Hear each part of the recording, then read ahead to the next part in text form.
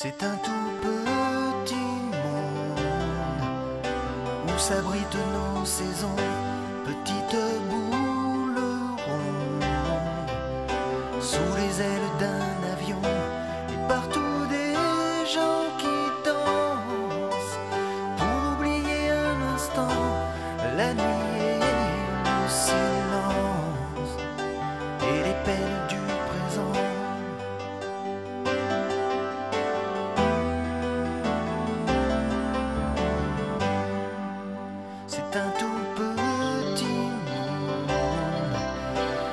le soleil, le sel, les naissances et les tombes. Et l'essentiel, le ciel, partout la mer.